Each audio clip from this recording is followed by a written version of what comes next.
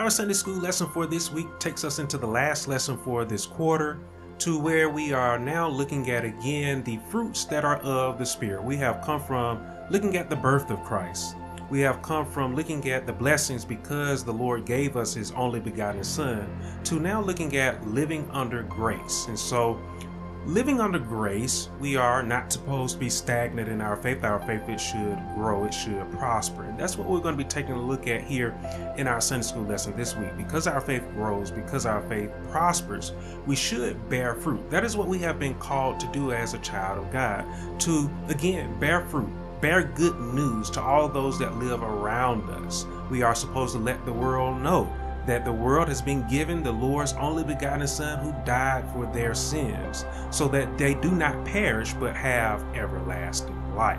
So we'll see here today, as our Sunday school lessons open up there in the 18th verse, where Paul he talks about how we should be led by the Spirit. Again, all of us who believe, all of us who genuinely believe in the Lord, we have received again the only begotten Son's message, and because of our faith in the only begotten Son, because we have believed in his birth, his death, and his resurrection, the Holy Spirit was poured out onto us. And because the Holy Spirit was poured out onto us, we are guided by the Holy Spirit. We are led by the Spirit. And Paul tells us there that we're no longer led by the law. We no longer live under the law. We live under grace, the grace again that was shown to us by the giving of the only begotten Son. And again, because we live under grace, our faith it should grow our faith it should mature. We cannot remain as a baby. We cannot remain as children in the faith. Our faith it must grow. And so we'll see there as we continue on there from the opening verse of our Sunday school lesson. When we take a look at the 19th verse, when we take a look at the 20th and the 21st verse, we'll see where Paul he speaks of the old man there. He speaks of the old ways. Look at all those traits that Paul says that we are to put off of us, that we that we should no longer have within us. He talks about lewdness, we'll see there, fornication there. We'll see even wrath mentioned there. We'll see most importantly selfish ambitions. Something that you have heard me speak about before in the past is the fact that old man is selfish. Old man, yes, lives in disobedience against the Lord. Old man is wicked in his and her ways, right?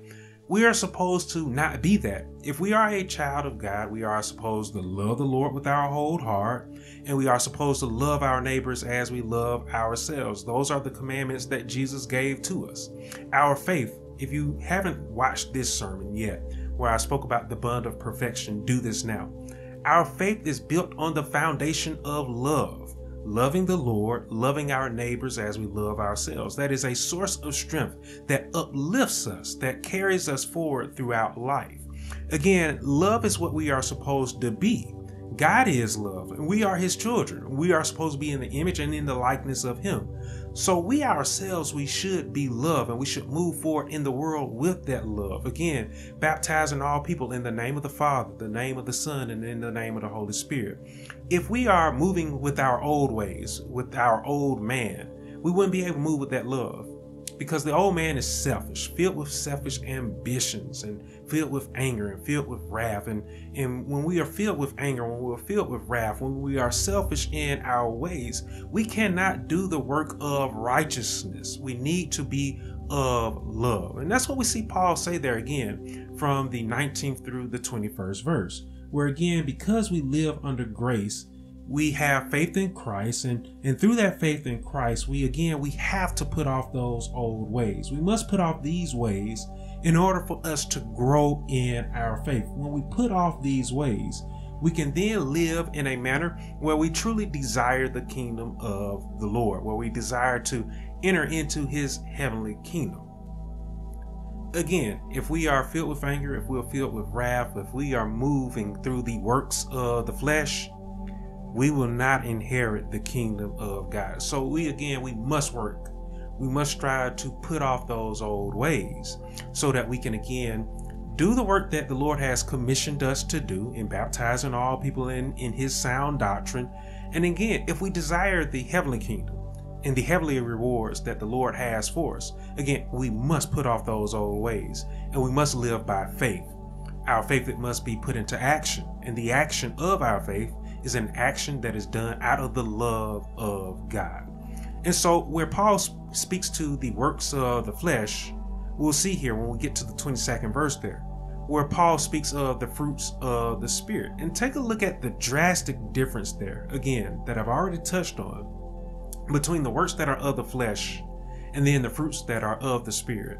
The fruits of the Spirit, they are outwardly, they focus outwardly, where the works of the flesh, they are inward focus, selfish. The, the fruits of the Spirit, looks at patience, looks at love, looks at joy, looks at faithfulness, right? Again, the Lord is faithful. We, his children, we are to be faithful as well. So, again, if we want to uplift all those that are around us, we cannot do that through works of the flesh, no matter how many people believe that. You can't be upset, you can't be jealous, you can't be filled with all kind of unrighteousness and then do works of righteousness. It just does not work that way. Again, we cannot be led by the lust of the flesh.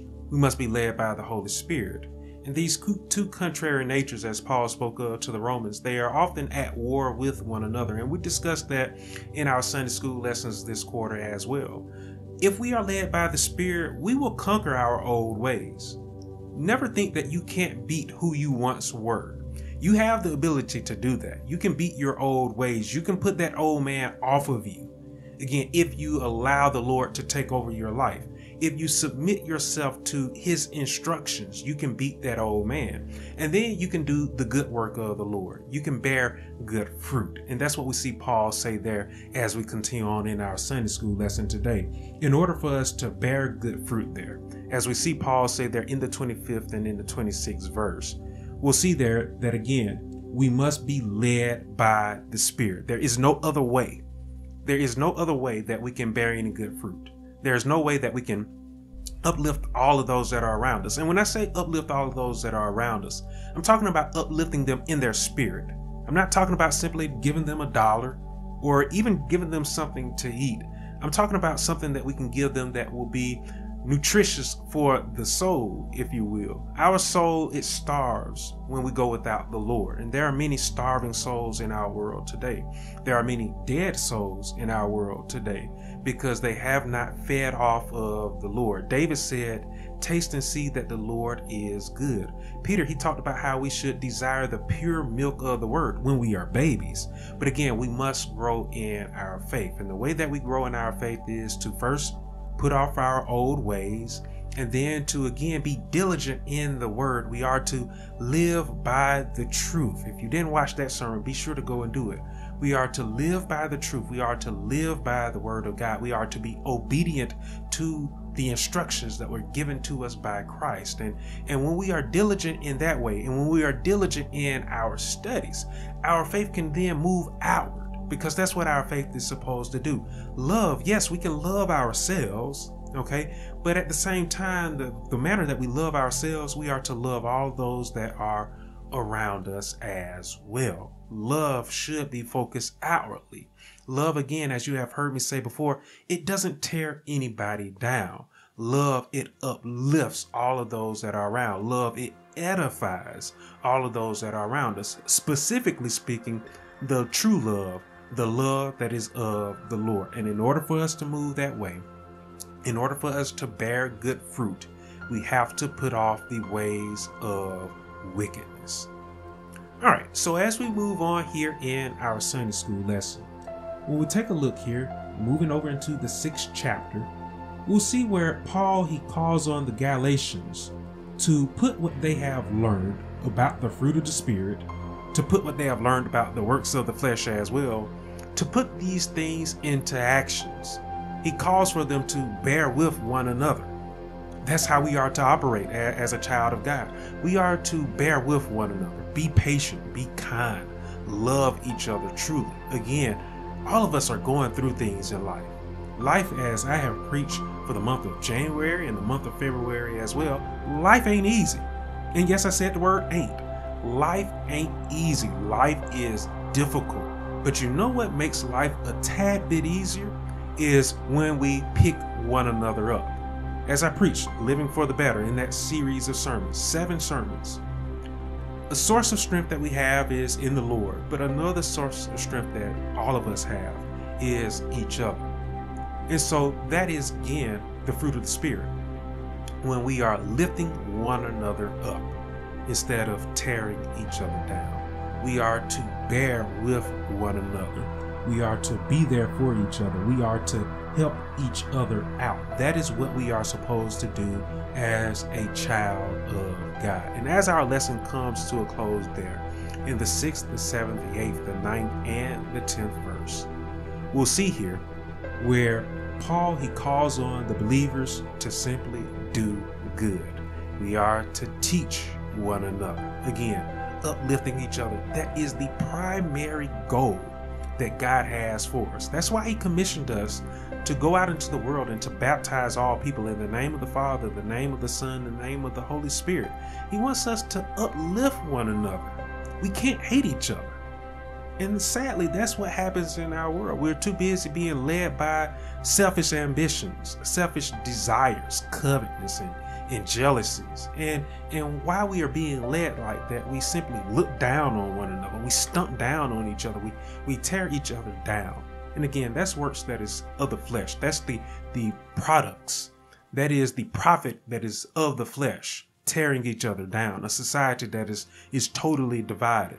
Whereas the fruit of the Spirit, it brings together. And our society will be a much better place if we actually move in the love that is of the Lord. Brotherly kindness is what scripture often calls on.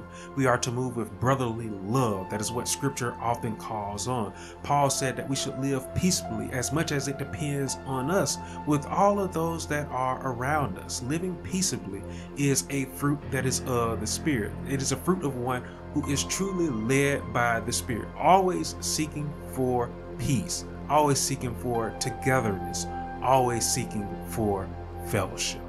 Okay? All right, so that is our Sunday school lesson for today. I hope that you enjoyed our lesson for today. What did we learn? Well, we learned again that we, of course, we live under grace. Grace is living under the love of God, that love that was shown to us by the giving of the only begotten Son. We also learned today that in order for us to, to bear good fruit, we have to put off the old wicked ways. We have to put off our old man. And then again, we learned that when we put off the old man, we can then bear good fruit. We can bear the fruit that is of the Spirit. And the fruit of the Spirit, we learn, is dealing about love. Love that is not inward only, love that focuses itself outwardly as well. So, again, as you often hear me at the close of the Sunday school lessons say, we ought to move in grace. That is our calling as a child of God to love our neighbors as we love ourselves. Okay?